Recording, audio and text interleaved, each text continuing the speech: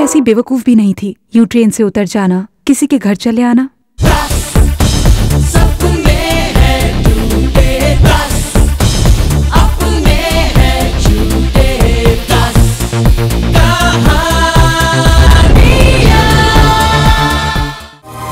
To watch more, log on to www.erosentertainment.com.